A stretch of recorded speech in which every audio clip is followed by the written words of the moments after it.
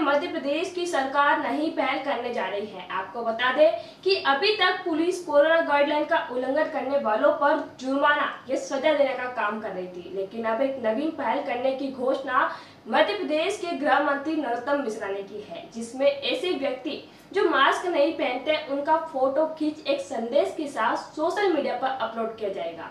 Corona को रोकने के लिए गृह मंत्री डॉक्टर नरोत्तम मिश्रा ने बड़ा ऐलान किया है। उनका कहना है कि तमाम समझाइश के बावजूद भी लोग नहीं मान रहे हैं और अभी भी मास्क पहनने में लोगों को परेशानी हो रही है। प्रधानमंत्री जी सहित मुख्यमंत्री और सभी लोग बार बार लोगों से मास्क पहनने की अपील कर रहे हैं। इसे अभी तक कोरोना से बचने का सबसे सुरक्षित उपाय बता रहे हैं, लेकिन कई लोग इसका पालन नहीं करते हैं। ऐसे लोगों को रोकने के लिए प्रदेश का पुलिस विभाग एक नया प्रयोग करने जा रहा है। मास्क नहीं पहनने वाले लोगों को रोककर उनका एक फ़ोटो खींचा जाएगा। जाएगा और उस फ़ोटो के नीचे लिखा जाएगा, कोरोना मेरा यार, समाज से नहीं है प्यार। नरोत्तम का मानना है कि इस प्रयोग के माध्यम से लोगों को इस बात का एहसास होगा कि वे मास्क न पहनकर कितना बड़ा अपराध समाज के प्रति कर रहे हैं। और ऐसे लोगों को देखकर उन लोगों को भी समझ आएगी जो मास्क नहीं पहनते हैं। वे भी मास्क पहनने के लिए प्रेरित होंगे। बता दें, मध्य प्रदेश में रविवार को टोटल लॉकडाउन के बावजूद भी स्थिति में सुधार नहीं है। एक बार फिर एक हज़ार पाँच सौ दो लोगों की रिपोर्ट पॉजिटिव आई है। लॉकडाउन के बावजूद भोपाल में तीन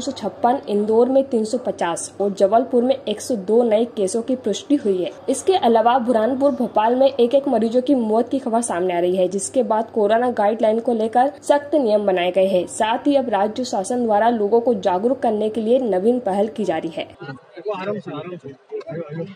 अभिनव प्रयोग है ये आज। मुख्यमंत्री जी ने किया आपने भी देखा होगा दो मिनट के लिए। भोपाल थम गया। आज ये क्या कर मध्य प्रदेश थमा। जो नहीं थमा उसने थमा हुआ देखा। तो पूछा क्या हुआ? जब पूछा तो पता चला कि लापरवाही बर्दाश्त नहीं है।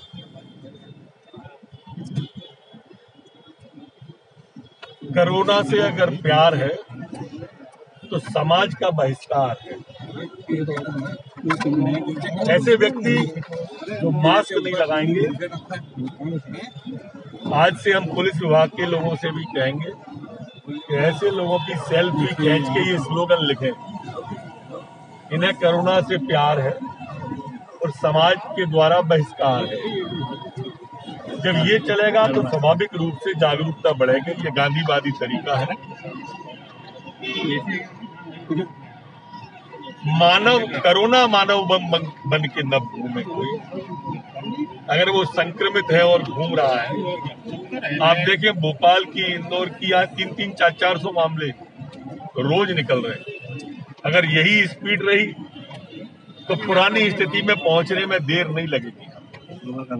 और इसलिए पूरे प्रदेश से करबद्ध प्रार्थना कि सारी सावधानियों का गृह विभाग के द्वारा जारी किए निर्देशों का केंद्र सरकार के द्वारा जारी की गई गाइडलाइन का सारे मेले जो बड़े बड़े आयोजन थे, करीला माता जैसा, ग्वालियर का मेला जैसा, ये सब पर रोक लगाने का सरकार ने गृह विभाग ने तय किया है। इस तरह के जो, जहाँ पर संडे का कर्फ्यू है 20 से ज़्यादा केस आ रहे हैं।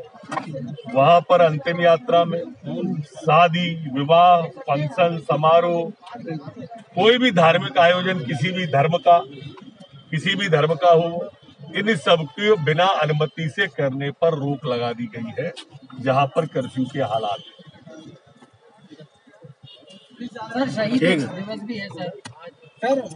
शहीदों के चरणों में नमन सरदार भगत सिंह के चरणों में नमन राजगुरु सुखदेव के चरणों में नमन।